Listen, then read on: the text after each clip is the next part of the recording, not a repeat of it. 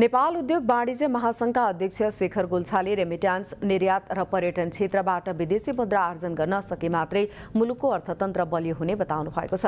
नेपाल निर्यात परिषदले आयोजना गरेको नेपाली निर्यातजन्य वस्तुहरूको प्रदर्शनीमा अध्यक्ष गोल्छाले मुलुकको अर्थतन्त्र रेमिट्यान्स मात्रै आएर नचल्ने भन्दै रेमिट्यान्स निर्यात र पर्यटन तीनवटै क्षेत्रबाट विदेशी मुद्रा आर्जन गर्न सके मात्रै मुलुकको अर्थतन्त्र बलियो हुने बताउनु भएको हो।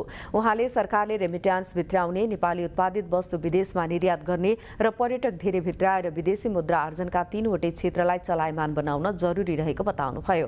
अध्यक्ष गोल्छाले अर्थतन्त्रको तीनवटा इन्जिन मध्ये रेमिट्यान्स मात्रै आएर मुलुकको अर्थतन्त्र सबल बन्न नसक्ने उल्लेख गर्नुभयो।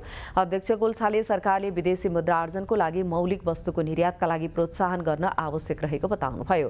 उहाँले बैङ्किङ प्रणालीमा तरलताको अभाव र शोधनान्तर स्थिति कमजोर भएकाले मुलुकको अर्थतन्त्र गम्भीर अवस्थामा पुगेको बताउनुभयो।